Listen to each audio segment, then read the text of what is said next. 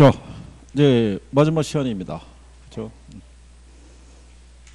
오늘 금요일이니까 이제 오늘 수업 마무리하면 주말을 또 편하게 쉬실 테고, 그죠? 응.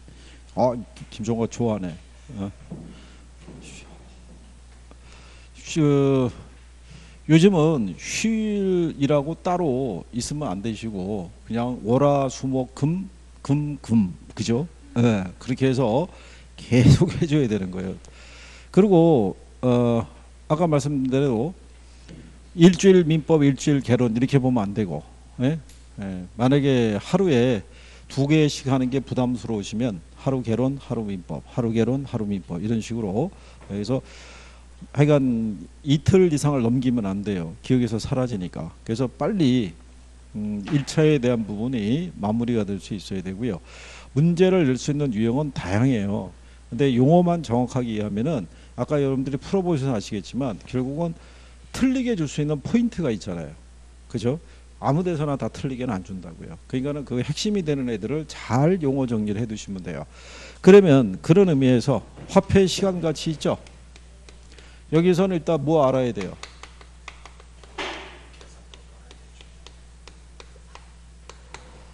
아, 일단은 계산은 나중 문제예요. 나중 문제예요. 그죠? 예, 일단은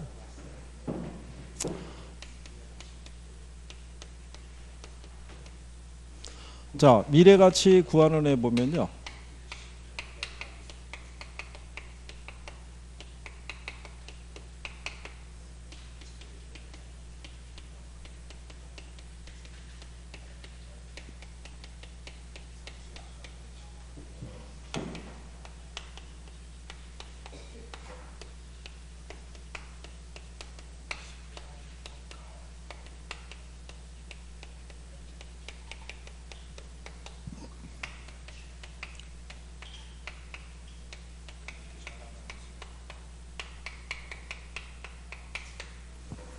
자, 여기서 연금의 미래 가치 계수의 역수는 뭐라고 그랬어요?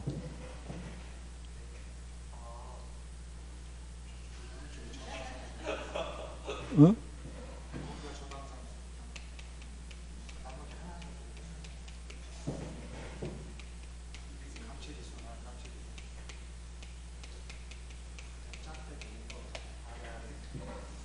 가장 기본적인 건 역수예요. 일단 역수를 아셔야 돼요. 역수를. 자, 거기도 1번 문제 보시면요. 1번에 일시불의 내가계수란 일시불의 현가계수의 역수다 이렇게 해놨죠. 예. 근데 뒤에 나와 있는 n년 후의 이론이 할인율 R을 적용할 때 현재의 가치는 얼마인지 구할 때 사용한다는 거는 그거는 일시불의 현재 가치 계수예요. 무슨 말인지 아시겠나요? 그리고 2번도 보면요. 연금의 현가 계수는 연금의 내가 계수의 역수다 그랬으니까 틀린 거예요. 여기서 역수 우리가 구할 때 이거 기억하시죠? 이거 이렇게 역수고 이렇게 역수라는 거. 예, 그래서 역수는 기본적으로 물어본다는 거. 그러니까 벌써 이번에 연금의 현가 계수가 연금의 내가 계수 역수라니까 틀렸죠.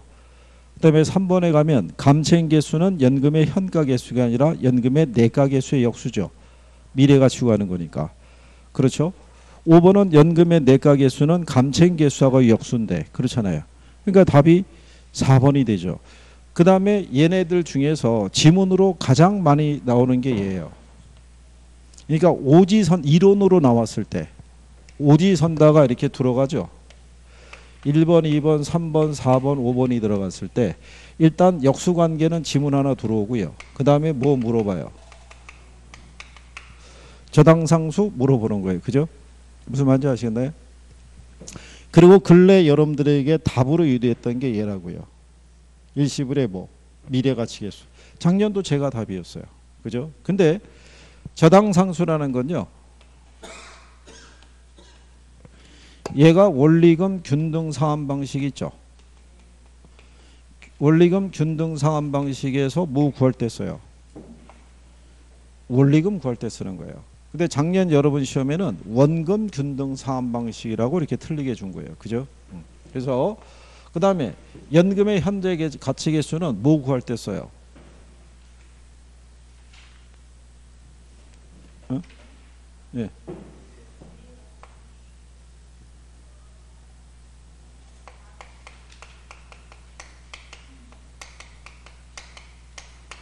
미상만 잔금 있죠.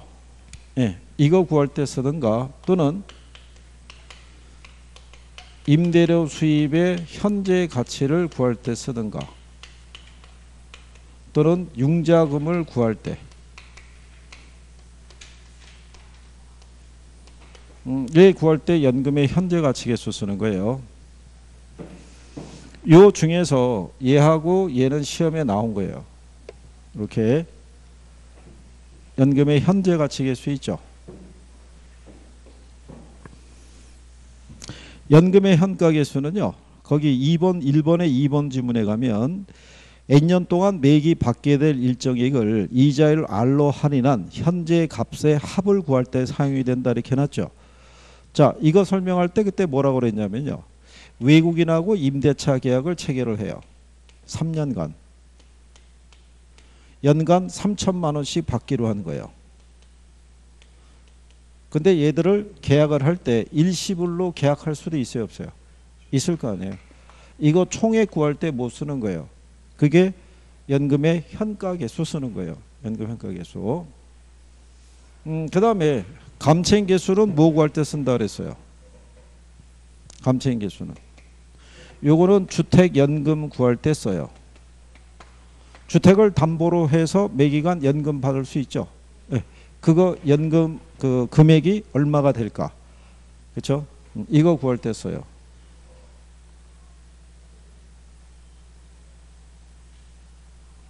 그리고 이 감채 객인계수의 뜻을 물어봐요. 감채인계수. 감채인계수라는 건요.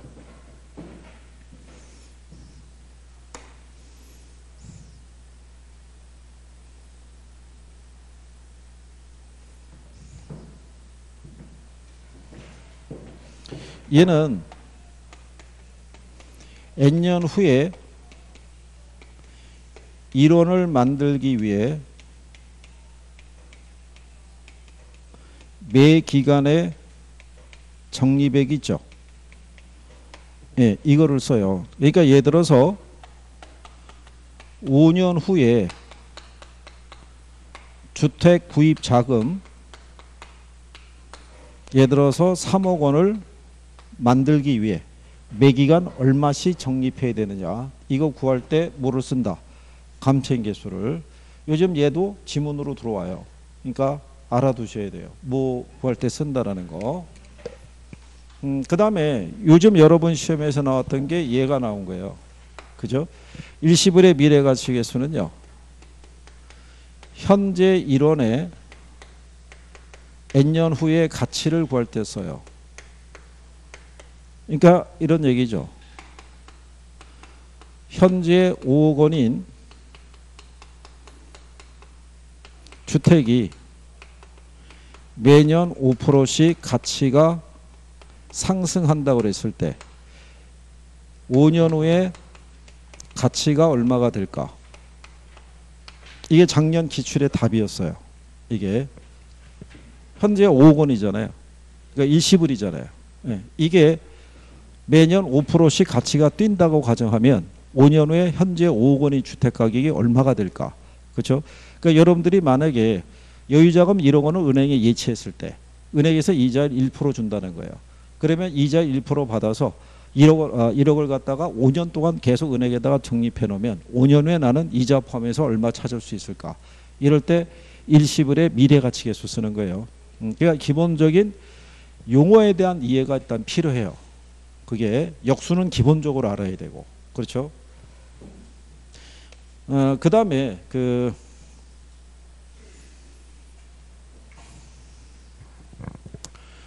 여기서 이 저당 상수 있죠. 그래서 하나 팁을 드리면 저당 상수라는 거는요. 자 융자금이 있죠. 융자금에다가 저당 상수를 곱하면 뭐를 구할 수 있어요? 원리금을 구할 수 있죠. 근데 이 원리금을 저당 상수로 할인하면요. 그러면 융자금을 구할 수 있어요. 그죠? 예. 네. 그랬을 때 이 융자금 분의 원리금을 계산하면은 저당 상수를 구할 수 있어요.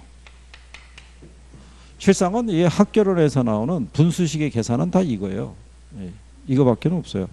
예를 들어서 융자금이 1억이에요. 그죠? 근데 저당 상수가 0.1이에요. 얼마 나오겠어요? 천만 원 나올 거 아니에요. 자, 얘가 천만 원인데 저당 상수가 0.1이죠. 그럼 얘가 1억 나온다고요. 그죠? 그러면 얘가 1억일 때 얘가 천만 원이죠. 그럼 100분의 10 개념이니까 0.1 나온다고요. 무슨 말 이해하시겠어요? 음, 그러면 요 조건하에서 한번 해보는 거는요.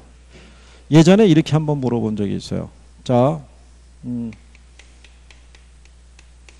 주택을 구입하기 위해서요. 6천만 원을 융자를 받았어요. 조건은 아, 기간은 예를 들어서 10년이고요. 이자율은 10%. 근데 매월 상환 조건이에요. 그래서 계산을 해보게 되면요. 6천만 원에다가 자 저당 상수의 공식은요. 이렇게 돼요. 그죠? 음. 그랬을 때 요걸 대입하게 되면 1 마이너스 1 플러스 이게 12분의 0.1이 돼요. 왜냐하면 매월이니까. 그죠? 그러면 10년이면은 12달이니까 마이너스 120승이 돼요. 이거를 계산했더니 음, 79만 2,900원 이렇게 나온 거예요. 그죠? 이렇게 해서 자 그랬을 때 이거를 이렇게 박스로 주고요. 지문에다가 뭐를 줬냐면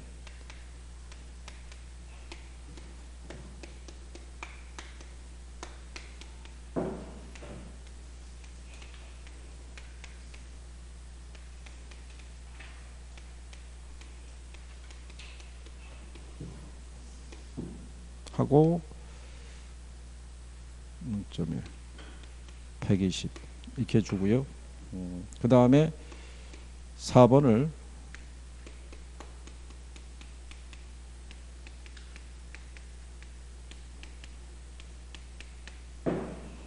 밑으로 내려가면 안 보이겠죠.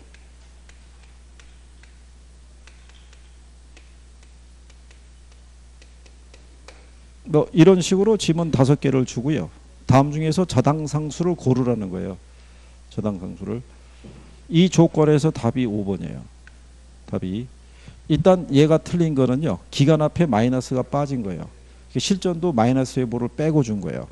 현재 가치를 계산할 때는요. 미래 발생하는 현금 흐름을 미리 땡겨 쓰는 개념이기 때문에 기간 앞에 다 마이너스가 붙어요. 뭐를 구할 때?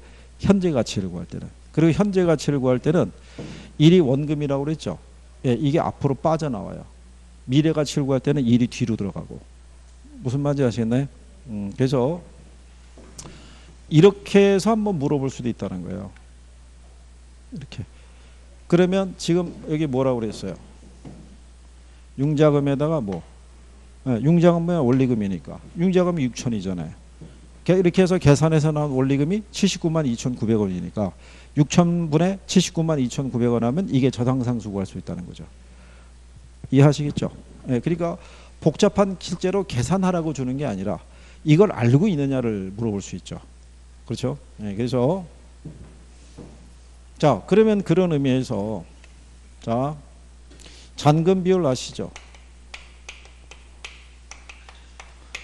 잔금 비율은 1 마이너스 상환 비율로 구하죠. 그렇죠? 네, 이렇게 해서 잔금 비율을 구할 때는 이거를 알고 있다라는 전제예요. 이걸 모르면 구해야 돼요. 그죠? 그러면 잔금 비율은 어떻게 구하냐면요.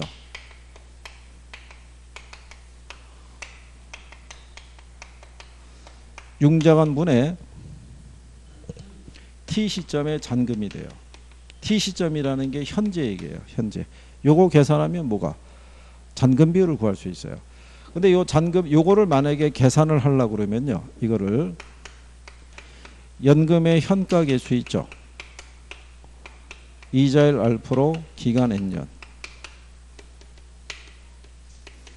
연금의 현가 계수 이자율 알프로 m-t 모르면 이렇게 계산해야 돼요. 근데 여기 보면은 이게 n으로 돼 있죠. n이라는 게 전체 대출 기간이에요. 그러면 m-t라는 건 뭐냐면 남은 기간이에요. 그래야지 잔액을 구할 수 있을 테니까. 그죠? 그러면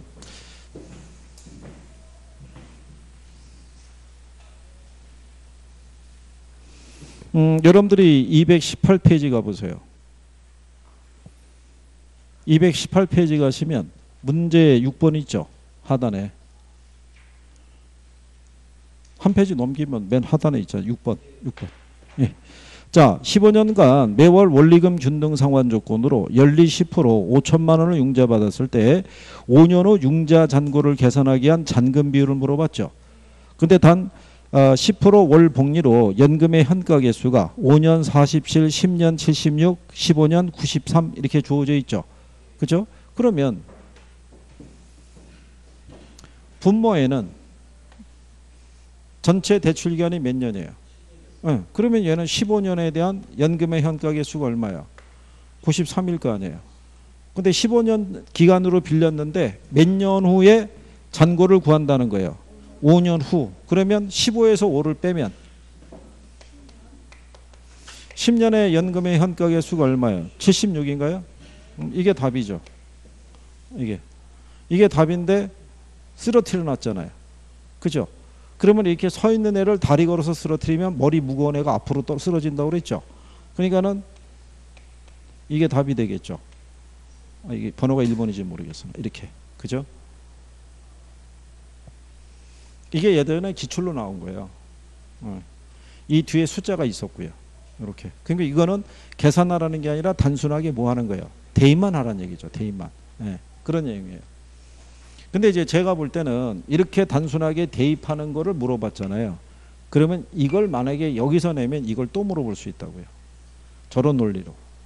무슨 말인지 하시겠어요? 네. 그래서 유령인데 만약에 이런 걸 구하라고 나왔는데 네 개 중에 하나만 이상한 애가 있으면 걔가 답일 가능성이 크다는 얘기예요. 무슨 말인지 이해하시겠죠?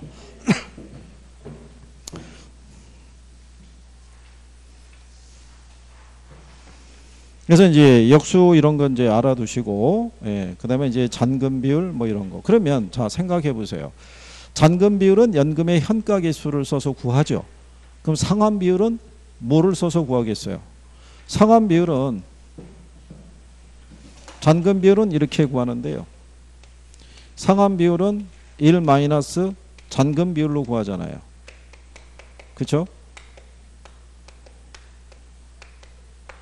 그렇죠? 그러면 상환 비율은 뭘, 뭘 써서 구하겠어요? 자, 생각해 보세요. 얘 못 써요. 얘 역수. 저당 상수 쓸 거 아니에요. 저당 상수. 상환 비율과 반대 개념이 뭐예요? 잔금 비율이잖아요. 잔금 비율을 연금의 현가 개수를 써서 구한다는 얘기는 상환 비율은 뭐를 쓴다는 거예요? 저당 상수를 통해서 구할 수 있다고요. 그죠? 그러면 만약에 저런 게 지문으로 떨어지면 또 틀릴 거 아니에요. 그죠?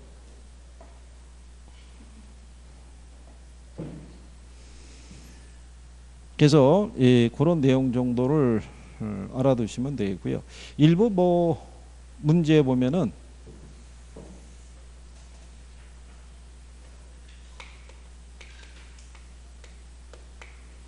연금의 내가 개수 있죠. 여기다가 감채 개수를 곱하면 뭐가 나오겠어요? 곱하면 1 나와요. 1. 무슨 말인지 아시겠나요? 만약에 연금의 내가 교수가 3.31이죠. 예, 역수는 그 수를 1로 나눈 거죠. 그죠? 계산하면 0.3024쭉 떨어진다고요. 곱하면 1 딱 나와요. 끝자리까지 했을 때. 근데 저게 시험에 나오겠냐고요. 안 나오지. 저거 나오면 또 댓글 난리 나는 거죠. 그렇죠? 니들은 계산 잘해서 좋겠다. 뭐 해서 또 난리 나는 거죠. 그러니까 그런까지는 몰라도 되는데 보편적으로 쓰는 애들 정도는 알아야 된다는 얘기죠. 음. 자, 그래서 그 1번에서는 이제 4번에 저당 상수는 연금의 현가 개수의 역수고요. 현재 1원을 이자일 알로 n년 동안 융자받았을 때 매개의 상환할 일정한 금액을 구할 때 사용되는 게 저당 상수예요. 그러니까 매개 갚아 나가야 할 뭐 융자금을 구할 때 쓰는 거예요. 그죠? 음, 그리고 이제 2번에 가면요. 현재 가치와 미래 가치에 대한 설명이다. 옳은 것으로 묶인 것은 어느 것이냐를 물어봤을 때 기억에 보면요. 미래 가치를 계산하는 공식은 일시불의 내가계수, 연금의 내가계수, 저당상수다. 그러니까 틀렸겠죠. 감책인 개수가 들어와야겠죠. 그렇죠? 그러면 기억이 들어가 있는 1번하고 2번은 답이 아니죠. 예, 그 다음에 니은에 가면 일시불의 현가계수는 할인율이 R일 때 N년 후의 일원이 현재 얼마의 가치가 있는가를 나타낼 때 뭐를 써요? 일시불의 현가계수를 쓰는 거예요. 그죠? 그래서 이런 거예요. 1년 후 2,000원의 현재 가치가 얼마냐. 그죠? 예, 그러면 할인율은 예를 들어서 10%다. 뭐 이런 거예요. 그거 구할 때 못 쓴다는 얘기예요. 일시불의 현가 계수의 공식은 이렇게 돼요.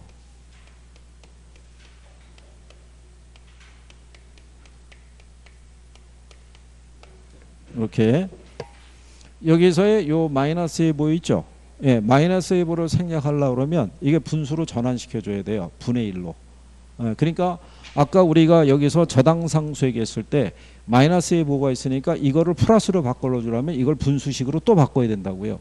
그러니까 현실적으로 일반 계산기를 써서 계산하기는 어렵다는 얘기예요. 그러니까 이거는 공학용 계산기 있죠. 예, 그거를 써서는 구할 수 있어요. 근데 여러분 시험에 공학용 계산기는 못 갖고 들어가요. 일반 계산기밖에는. 그러니까 여러분들에게 이렇게 복잡한 식으로는 계산하라고 유도하지는 않는다는 얘기예요. 무슨 말인지 아시겠나요? 음. 자, 그 다음에 디귿을 가시게 되면 감치인계수의 역수는 연금의 현가계수고 저당상수의 역수는 연금의 내가계수다 하니까 틀렸겠죠. 뭐 답이 4번밖에는 될 수가 없죠. N년 후에 일원을 만들기 위해 매년 불입해야 될 액수를 구하는 것은 감책인계수다 그랬으니까 맞는 편이죠. 저기다 해놨죠. N년 후에 일원을 만들기 위해 이렇게 그 다음에 연금의 현가계수는 미상환 저당장금 계산할 때 쓰겠죠. 그렇죠? 그러니까 이렇게 시험에서 인용할 수 있다 이런 얘기예요. 그러니까 그러니까 당연히 역수, 뭐 저당상수 이런 거 감채인계수, 연금 현가계수 뭐 쓰느냐 그런 거 간단하게 묶어갖고 지문으로 줘요. 근데 꾸준히 들어오는 이유가 뭐겠어요? 잘 틀려요. 여기 싫어하기 때문에 여기 강의해 주면은 와서 물어봐요. 몇 문제 나오죠? 하나요. 그러면 버리는 거죠. 바로 X. 그. 근데 X 친 게 너무 많잖아요. 어? 그게 어느 정도에서는 좀 걷어들여야 돼요. 그죠? 음. 자, 3번에 가시면요. 연금의 내가계수 있고요. 연금의 현가계수가 주어져 있죠. 일시금으로 현재 5천만 원을 받는 것하고요. 연금으로 10년 동안 매년만 1천만 원을 받는 것 중에 어느 게 더 유리하냐. 단 현재 시점으로 환산하라고 돼 있죠. 그러면 간단하죠. 자, 그러면 10년 동안 매년만 1천만 원 있죠. 어, 얘에 대한 무슨 가치 구해야 돼요? 현재 가치를. 그럼 뭐를 써야 돼요? 연금의 현가 개수를 써야죠. 그러니까 이런 얘기잖아요. 1년, 2년, 3년 땅땅땅 해서 몇 년 동안 10년 동안 매년 얼마씩 천만 원씩 받을 때 있죠. 이렇게 받을래? 아니면 지금 일시불로 5천만 원 받을래? 이 얘기잖아요. 그렇죠? 그러면 10년 동안 받게 된 이 돈들의 무슨 가치? 음, 현재 가치를 내가 구해야 현재 5천만 원과 비교할 거 아니에요. 그러니까 이런 경우가 어떤 경우가 있냐면 우리나라에서도 왜 올림픽 하면은 금메달리스트도 있죠. 예, 걔네가 연금 점수가 꽉 차게 되면 그 위에 메달 딴 거에서는 일시불로 줘요. 원래 연금으로 받으면은 사망할 때까지 매달 예를 들어서 한 100만 원씩 줄 거예요. 최대. 근데 메달을 또 따게 되면은 이미 포화 상태잖아요. 그러니까 그 전체 계산해서 일시불로 줘버린다고요. 그죠? 김총각 와 하는 거 보니까 내일서부터 운동하러 다니겠네. 어? 어. 잘하는 종목 있어? 어? 아, 공, 공부를 하겠다고? 말이나 못해야 뭐 저기 말은 뭐 청산 유수죠 뭐 그죠? 어. 틀림없이 이게 저기 올해 시험 마치고 합격자 했을 때 누가 됐느냐 했을 때 넌 틀림없이 인터넷에 올라온다니까 어? 됐나요? 물어본다니까. 어? 됐나요? 화제 인물 그래가지고 올라올 거야 아마. 자 거기 보시면 이거를 계산하려고 그러면 이 천만 원에다가 천만 원에다가 뭐를 곱하면 돼요. 이게 이제 계산할 때 이런 거예요. 자, 여기를 통해서 우리가 연금의 현재 가치 있죠? 그렇죠? 요게 분수식이 있으면 분모는 우리가 알고 있는 수고요. 분자가 미지수예요. 그죠? 그러면 우리가 구하고자 하는 이거는요. 요 개수 앞에 있는 얘를 구하고자 하는 거예요. 얘를. 그러면 우리는 뭐를 구하기 위해서 연금의 무슨 가치? 예, 현재 가치를 구하기 위해서 우리에게 이거는 준다고요. 뭐는 연금을 매년 천만 원이라고 주잖아요. 그러면 이 연금에다가 뭐를 곱하면 연금의 현재 가치 개수를 곱하면 연금의 현재 가치를 구할 수 있다는 거예요. 무슨 말인지 이해하시겠나요? 음. 그러니까 여기다가 천만 원에다가 뭐 곱하면 돼요? 연금의 현재 가치 개수. 거기 현재 가치 개수가 얼마예요? 곱하면은 얘 6,140만 원이잖아요. 그죠? 그러면은 현재 5천만 원 받는 것보다는 10년 동안 매년 얼마씩 1천만 원씩 받는 게 유리하죠. 그러면 6,140에서 5천을 빼면은 1,140만 원만큼의 이익이 발생하잖아요. 그렇죠? 네, 그러니까 그런 내용이죠. 그래서 거기 3번 문제에서는 2번에 매년 말 1천만 원 받는 것이 1,140만 원 유리하다 이렇게 해놓은 거예요. 그죠? 그러니까 실질적으로 이거 이렇게 계산을 하고 하지는 않고요. 이렇게 줘요. 주고 계산 대입하라고 얘기를 해요. 대입하라고. 그러니까 계산하는 것에 예, 너무 예. 그러면 예를 들어서 뒤로 넘어가시게 되면요. 음. 거기 5번에 보시면요. 이런 거는 실전에서도 유도가 돼요. 어떤 이런 부동산 자금을 마련하기 위해서요. 에, 2000년 1월 1일 현재 2년 동안 매년 연말 5천만 원, 5천 원씩을 불입하는 투자 상품에 가입했다는 얘기죠. 투자 상품의 이자율이 연 10%라면 이 상품의 현재 가치를 물어봤잖아요. 그죠? 그렇죠? 몇 년이라고 그랬어요? 2년. 그러면 이거 쓰는 거예요. 그냥. 매년 얼마씩? 얘를 계산하게 되면요. 1 플러스 할인율이 몇 프로예요? 10%잖아요. 그럼 100분의 10이니까 0.1이 되겠죠. 1.1로 할인하게 되면요. 4,545만 뭐 이렇게, 이렇게 쭉 떨어져요. 그 다음에 얘는 2년이잖아요. 그러니까 1 플러스 0.1에 대한 자승이 들어가면 돼요. 그럼 1.1을 두 번 곱하니까 1.21로 할인하면 돼요. 그죠? 그렇게 해서 계산하시게 되면 4,132원 뭐 이렇게 떨어져요. 그 뒤에 숫자가 다 있어요. 그 두 개 더 하시면 되겠죠. 근데 조건은 뭐냐면 단 10원 단위 이하는 절사하라고 해놨죠. 예, 그냥 그래서 두 개 더해서 8,600원 이렇게 구할 수 있다는 거예요. 여러분 실전에서는요 2,000원으로 줬어요. 2,000원. 여기는 5,000원으로 줬잖아요. 이제서는 2,000원으로. 예, 그래서 그렇게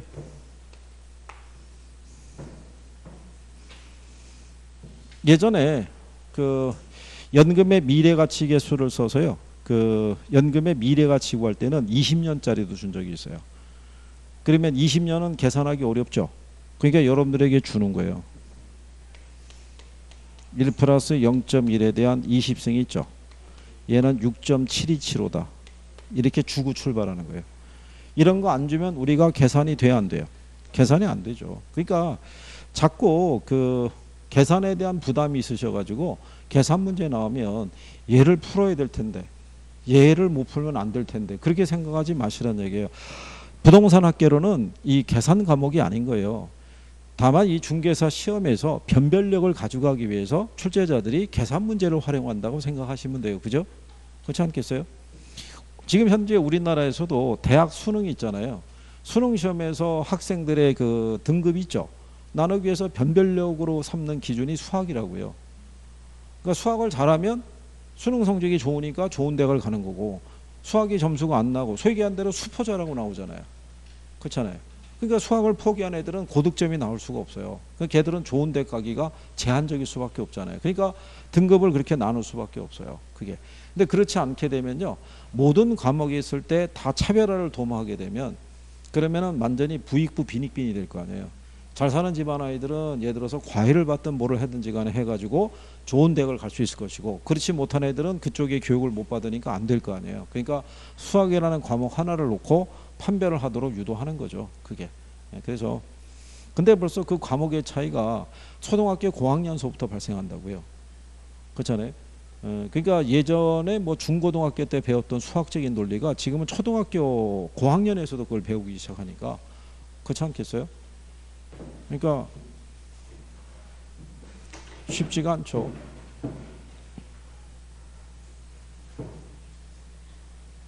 예를 들어서 우리 그때 얘기했나요?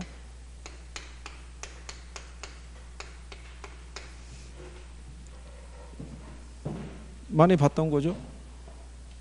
2분의 1, 그러니까 뭐 P를 빼고요. 2분의 1 더하기 3분의 1 있죠. 계산하면 얼마 나오겠어요? 그럼 저게 6분의 5 나와요. 저거 통분하면 되거든요. 네. 근데 그 지금 현재 사칙 연산도 힘든데 저거 통분하라면 통분하겠어요? 근데 간평사 시험엔 저렇게 나와요. 간평사 시험에는. 그러니까는 중개사 시험보다는 몇 문제에 걸쳐서는 조금 더 난이도가 있는 거예요. 그러니까 수요 함수와 공급 함수 대입해서 계산 문제 나오는 것도 조금 더 힘들어요. 그게. 음, 그렇기 때문에 자, 그래서 여기는 뭐 그렇게 해서 정리했다고 보고요. 그 다음에 이제 뒤로 넘어가시면 아, 현금 흐름이 있는데 얘들은 반드시 알아야 돼요. 시험상에서 활용을 자주 하기 때문에 자 그러면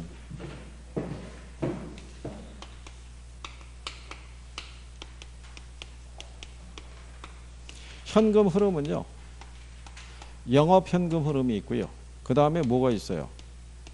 매각 현금 흐름이 있어요. 그죠? 근데 요 중에서 어쨌든 출제 빈도가 높은 거는 영업 현금 흐름인데 작년 시험에는 영업 매각 같이 냈으니까. 그죠? 그러면 영업 현금 흐름은요.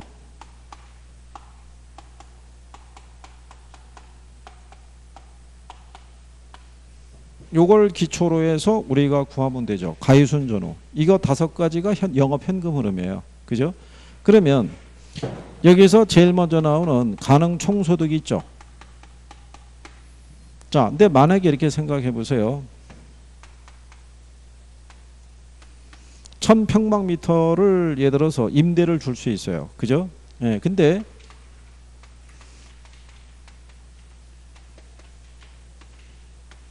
평방미터당 월 만 원의 임대료를 받을 수 있대요. 그죠? 그러면 가능 총소득이 얼마가 돼요?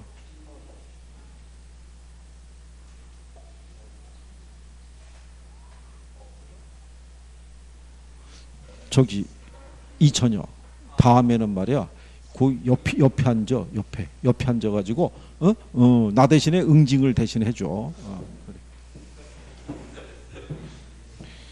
자 여기 하면요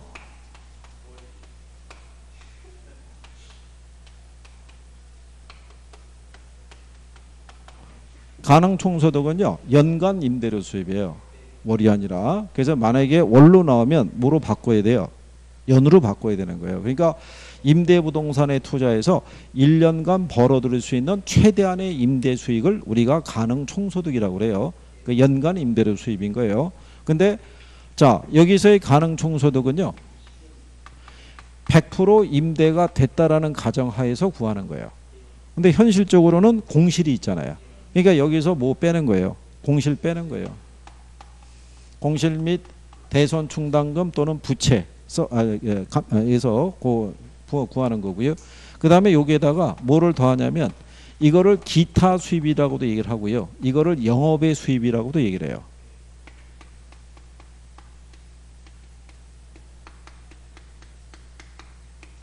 임대 부동산이면 임대를 놔서 벌어들이는 임대 수입이 주 수입이겠죠. 근데 임대업자가 뭐 주차장을 하나 만들어 놓고 주차비를 받든가 아니면 자판기 설치 운영해 가지고 부수입 올릴 수도 있어요, 없어요.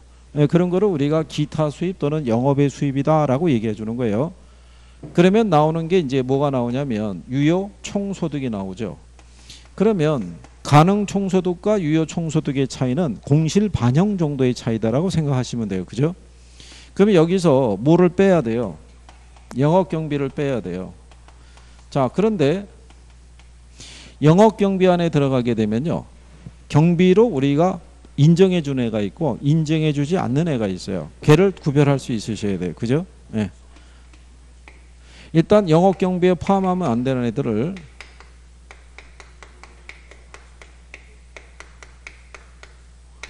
이렇게 얘기했어요. 학개론 공부한 소감을 소개합니다. 뭐 이런 식으로 해서 공이 공실 들어가는 거예요. 그죠?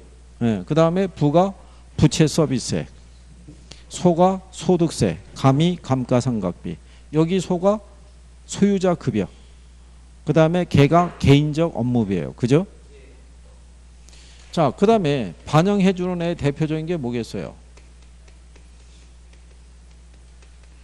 자, 임대 수익을 얻기 위해서는 임대 부동산을 유지 관리해야 되잖아요. 그죠? 그러니까 유지 관리비가 들어가요. 그래서 유지 관리비에는요. 전기료, 그 다음에 뭐 수도료 이런 거 들어가겠죠. 그 다음에 관리자 급여 뭐 이런 것들 들어가야 안 들어가요. 들어갈 거 아니에요. 그죠? 음, 거기다가 화재 보험료 들어가야 안 들어가요. 화재 보험료는 소멸성 보험료이기 때문에 들어가요. 그 다음에 재산세 들어가야 안 들어가요? 들어가요. 보유세니까. 그죠? 이거는 내가 임대 사업을 하기 위해서 임대 부동산을 취득했잖아요. 임대 사업을 하는 동안에는 제세사가 계속 나온다고요. 그러니까 이게 보유세 개념이기 때문에 얘는 경비로 반영하는 거예요. 이거 기본적으로 여기서 이제 구별할 수 있어야 되고요.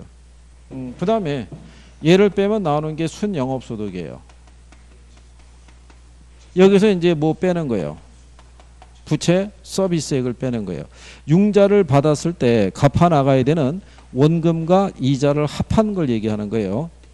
원금만 얘기한다 그러면 틀리는 거예요. 원금하고 이자를 포함한 거. 그래서 나오는 게 이제 세전 현금 흐름이 나오죠. 현금 흐름, 현금 수지라고 얘기를 해요. 여기서 이제 뭐를 빼면요. 영업 소득세를 빼면 그러면 이제 세후 현금 흐름이 나온다는 얘기죠.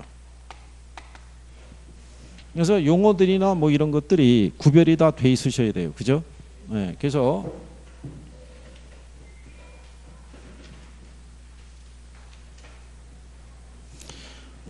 저거 뭐 순서를 알면은 그죠? 거기 7번 문제 있죠? 임대주택 운영 수지 분석 절차다. 니은과 디귿에 들어갈 용어가 바르게 짝지어진 걸 물어봤죠? 예, 그거는 이제 여러분들이 이렇게 하시면 돼요. 자, 우리가 수업할 때 이렇게 해드렸잖아요.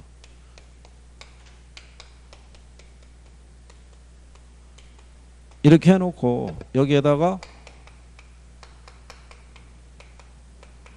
이렇게 한 거 기억하나요? 어? 공이 뭐예요? 공실. 경이 뭐예요? 영업경비. 부가 부채 서비스. 소가 영업소득세. 그래서 가유순전 후 공경부소 하면은 기본적인 식이 정리가 되는 거예요. 그죠? 그래서 거기 보면은 가능 총소득이 있죠? 예. 거기서 우리가 뭐를 빼야 돼요? 거기 보면 공실 빼야 되잖아요. 그죠? 예. 그 다음에 유효 총소득에서 뭐를 빼면 영업경비잖아요. 그 다음에 디귿이 부채 서비스액이잖아요. 공경부소에서 경부, 그걸 구하라고 하는 거죠. 흐름만 알면은 그냥 가로놓기니까는 물어볼 수 있죠. 그렇죠? 그래서 요거는 이제 요렇게 정리하셨고요. 그 다음에 매각 현금 흐름 있죠. 매각 현금 흐름 또는 지분 복귀액이라고 얘기를 해요. 음, 얘를 계산할 때는 지난번에 이렇게 해드렸어요.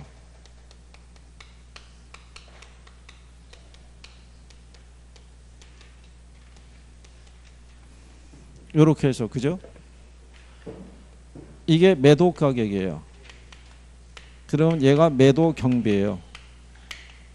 이게 매도 매도 같아서 이걸 딴 거예요. 그냥 그 다음에 이게 뭐가 되냐면 여기서 이거 빼면은 얘가 나와요. 여기서 뭐를 빼면 미상환 저당 잔금이 있죠. 그래서 이렇게 빼면 가경이하고 순미라는 사람 이름이 나오죠. 네, 그래서 부친의 성함이 전번호라고 뭐 이렇게 해서 그래서 얘가 세전 지분 복귀 그 다음에 얘가 자본이득세 그러면 이제 세후가 나오죠. 그러면은 이제 8번에 가시게 되면 그죠? 매도 가격에다가 뭐 빼겠어요? 매도 경비. 순매도액에서 뭐 미상환 저당장금, 그 다음에 자본이득세 이렇게 되겠죠. 그러니까 요거는 그냥 뭐 순서만 알면 네, 단순 대입이죠. 그래서 그런 식으로 여러분들이 어, 구할 수 있다 이런 얘기가 되겠어요. 그죠? 뭐 어려운 이런 내용 그러니까 이거는 반드시 기본적으로 숙지를 해두셔야 되는 거예요. 숙지가 돼야 우리가 여기서 변화가 되는 것도 다 구할 수 있는 거예요. 그죠? 그러니까 요즘은 물어볼 때 뭐도 물어보냐면 여기서 이거 빼면 얘가 나오고요. 여기서 이거 빼면 얘가 나온다는 것은 뒤집어서 얘기하면은 여기서 이거 빼면 얘가 나온다는 얘기랑 똑같아요. 무슨 말인지 아시겠어요? 네, 그러니까 그런 것들도 지문상에서 활용을 해주기 때문에 정확하게 그거를 알 수 있어야 돼요. 금액을 대입을 해서도 풀어도 보고 익숙할 수 있도록 그죠? 그렇지 않으면은 문제 풀 때 어려울 수 있어요 없어요? 어, 어려울 수 있죠. 그래서 용어를 정리하시면은 반드시 그죠? 예, 구별할 수 있어야 된다는 거. 자 그러면 9번에 가시게 되면요. 영업수지 계산과 관련된 다음 설명 중에서 틀린 거 물어봤을 때 1번에 가면 유효 총소득이 있죠. 가능 총소득에서 공실 및 불량부채 충당금을 차관하고 기타 소득을 가산해서 계산하면 유효 총소득이 나오겠죠. 네, 그것도 시험 지문에 한 두 번 나왔어요. 그 다음에 영업경비에는 감가상각비, 공실 및 불량부채 충당금이 포함되지 않고요. 적산 임료 산정 시 필요 재경비에는 감가상각비 이게 포함된다고 그랬을 때 2번은 그냥 생략하세요. 왜 생략하다고 얘기하냐면요. 적산법에서 경비를 구하는 거는 지금 안 나와요. 왜 안 나오냐면 여기서의 경비에서는 감가, 감가상각비 반영해야 안 해요. 반영 안 하잖아요. 적산법에서는 반영한다고요. 그러니까 충돌이잖아요. 그러니까 기업 회계상에서의 경비 계산과 부동산 학적인 관점에서의 경비 계산 논리가 틀려요. 어, 그렇기 때문에 저게 시험에 안 나온 지 꽤 오래됐어요. 그냥 참고하셔도 돼요. 자, 거기 보시면 4번에 그 3번에 세전 현금 수지는 순 영업 소득에서 부채 서비스액을 차감해서 계산하며 이는 순 영업 소득보다 항상 작은 값을 갖는다 그러니까 틀렸다는 얘기죠. 자, 여기 요 순 영업 소득하고요. 세전하고는 같을 수 있어요, 없어요? 같을 수 있어요. 이게 없으면 융자가 없으면 융자가 없으면 얘가 얘가 되잖아요. 그죠? 예, 그래서 항상 작은 값을 갖는다면 틀린 거예요. 그래서 여러분 시험에는 어떻게 나왔냐면 순 영업소득은 세전 현금 흐름과 동일할 수 있다. 이렇게 출제해 준 거예요. 걔가 답이었다고요. 융자가 없다는 전제면. 그죠? 음. 그 다음에 11번에 가게 되면요. 다음 중 영업수지의 계산 과정에서 나타나는 영업경비 항목들로 바르게 연결한 걸 물어봤죠. 그러니까 기억에 재산세 들어가겠죠. 소멸성 보험료 들어가야 안 들어가요? 어? 소멸성 보험료가 화재 보험료라고요. 얘는 1년 단위로 재계약한다고요. 화재 보험료는. 그러니까 경비로 반영을 해주는 거예요. 그 다음에 유지비 들어가겠죠. 그렇죠? 예. 그 다음에 거기 나와 있는 대로요. 보면은 전기료 관리비 요거 들어가겠죠. 그렇죠? 음. 자본적 지출은 안 들어가요. 자본적 지출이라는 건 뭐냐면요. 이게 자본적 지출이라는 게 있고요. 수익적 지출이라는 게 있어요. 예를 들어서 건물에 엘리베이터를 교체를 하죠. 이런 게 자본적 지출이에요. 건물의 가치 자체를 변화시키는 거예요. 그죠? 그러니까 이거는 임차자에게 혜택이 돌아가는 게 아니잖아요. 건물의 가치가 증진이 되면 그건 임대업자에게 혜택이 가잖아요. 그러니까 이건 경비로 인정을 안 해요. 근데 수익적 지출은 뭐냐면 임차자들이 엘리베이터를 사용하다가 엘리베이터가 고장이 났어요. 그러면 이 엘리베이터를 수리할 수 있어요, 없어요? 예, 이 비용은 경비로 본다는 얘기예요. 그러니까 자본적 지출은 물건 자체의 가치의 변화를 가져오기 때문에 걔는 경비로 인정을 안 해주는 거예요. 이게 임차자들에게 경비로 청구할 수가 없다고요. 무슨 말인지 이해하시겠어요? 그래서 그런 경우죠. 그래서 11번의 답이 5번 이제 이렇게 예, 구성하시면 되겠고요. 음, 그 다음에 뒤로 넘어가시면요. 문제 12번에 중개 사무실을 운영하는 경우에 고정 비용에 해당하지 항목을 물어봤죠. 우리가 이제 경비를 계산할 때 보면요. 고정 비용이 있고 무슨 비용이 있어요? 가변 비용이라고 있어요.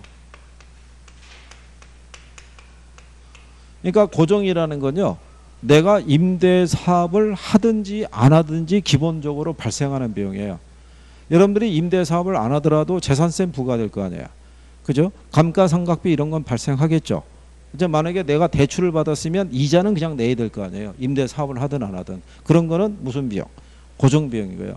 그러면 가벼운 비용에 들어가는 게 대표적인 게 뭐냐면 전기료, 수도료 이런 거예요. 사용량에 따라서 비용의 크기가 틀려지잖아요. 그러니까 거기 12번에서 고정 비용에 해당하지 않는 항목이 4번 지문에 중개 실적에 따른 수당이라는 거예요. 이 사람이 실적이 좋으면 수당 많이 가지고 갈 거고요. 실적이 없으면 수당을 적게 가지고 갈 거 아니에요. 그런 거는 가변 비용이다라고 얘기를 하는 거예요. 무슨 말인지 이해하시겠죠? 예, 그래서 그 내용에 대한 거까지 정리를 해보셨어요. 그리고 이제 14번서부터가 뭐예요? 음, 계산에 대한 경우죠. 근데 14번의 계산은 제가 볼 때는 여기서는 뭐를 알려주고 싶은 거냐면 이런 거예요. 거기 보면은 임대 단위당 연간 천만 원의 임대료가 발생하고요. 임대 단위 수가 얼마라는 거예요. 그러면 천만 원 곱하기 10하면 얼마 나오겠어요? 1억 나올 거 아니에요. 근데 공실이 몇 프로라고 돼 있어요? 5%. 얘가 5%잖아요. 그럼 1억에 5%면 얼마겠어요? 500이겠죠. 예. 그 다음에 예, 그렇게 되면은 이제 유효 총소득이 얼마 나오냐면 기타 수입은 없죠. 9,500 나오겠죠. 예. 근데 영업 경비가 유효 총소득 대비 몇 프로래요? 40%. 그럼 계산하란 얘기잖아요. 그러니까 이 얘기는 뭐냐면 이런 얘기죠. 1억 있죠. 얘가 몇 프로예요? 5%. 5%면 0.95 있죠. 곱하기 얘가 40%잖아요. 그럼 여기다가 0.6을 곱하면 되겠죠. 그러면은 바로 순영업소득까지 계산이 될 수 있어요, 없어요? 있다는 얘기죠. 예, 이렇게 계산하는 논리예요. 그게 그렇게 해서 계산한 게 5,700이다 이런 표현이에요. 근데 현실적으로 실전에 가면 이렇게 계산 못하는 분들 수두룩해요. 이게 잘 안 된다고요. 이게 60%야 되는데 40% 쓰는 사람도 있고 뭐 다양할 거 아니겠어요? 그러니까 오히려 계산이 안 될 수가 있기 때문에 그냥 안 될 때는 그냥 이렇게 할 수밖에 없어요. 9,500에 40% 구해서 빼서 이거 구하는 것밖에는 또 답이 없겠죠. 그죠? 음, 그래서 뭐 그 14번은 이제 그런 요령이다라고 보시면 될 거예요. 자, 그 다음에 이제 뒤로 나오는 게 전부 계산 논리니까 다음 시간에 여기 15번서부터 한번 또 쭉 해서 투자론을 마무리하고 금융으로 넘어 들어가도록 하겠어요. 음. 자, 뭐 날도 덥고요. 예, 컨디션을 조절하기도 쉽지는 않아요. 그죠? 예, 근데 이제 한 두 달만 고생하시면 돼요. 그죠?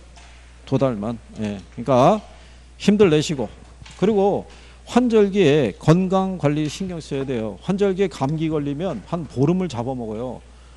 그러면 컨디션은 안 좋은데 부담 때문에 편하게 쉬지도 못하고 공부에 따른 효율도 떨어지고 그래요. 건강 관리도 신경 많이 쓰시고 다음 주에 뵙도록 하겠습니다. 고생하셨습니다. 수고하셨습니다.